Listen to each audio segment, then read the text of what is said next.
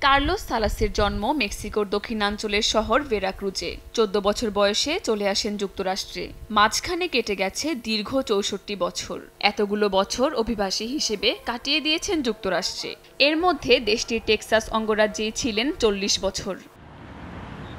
পেশায় আলোকচিত্রী আটাত্তর বছর বয়সী এ ব্যক্তির সবসময়ই ইচ্ছে ছিল নিজ দেশ মেক্সিকোতে ফিরে যাওয়ার। তাই যুক্তরাষ্ট্রের নাগরিকত্ব চাননি কখনো। কিন্তু সম্প্রতি অভিবাসীদের নিরাপত্তা ও আশ্রয়ের ব্যাপারে সচেতনতা থেকে নিজের অধিকার চর্চায় উদ্যোগী হন।